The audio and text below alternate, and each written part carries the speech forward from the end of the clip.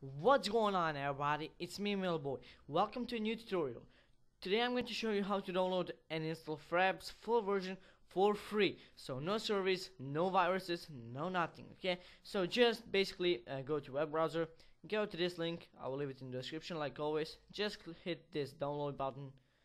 Just let it download, and it's full version. It won't uh, record like 30 seconds and stop. It will record uh, how much space you have on a hard drive. So just uh, okay I'm going to show you the easy way.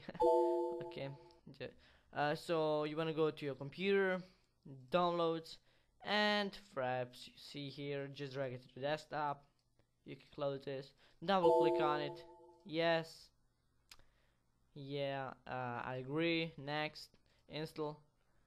And basically that's all. So just close it and you see here the brand new um, icon. So just double click on it.